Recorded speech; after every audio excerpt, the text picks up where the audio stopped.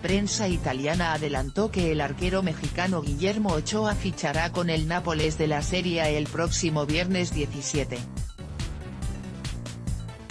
El diario deportivo La Gazzetta dello Sport publicó en la primera plana un texto titulado Napoli, asalto final por Ochoa, en el que asegura que ya existe un acuerdo cercano entre las partes y que este fin de semana se concretará el traspaso del futbolista que actualmente juega en el Standard de Lieja, de Bélgica, de acuerdo con la publicación, a la directiva del Nápoles le falta cerrar el acuerdo con el club belga que dejaría marcharse a Ochoa si el equipo del Calcio paga 3 millones de euros.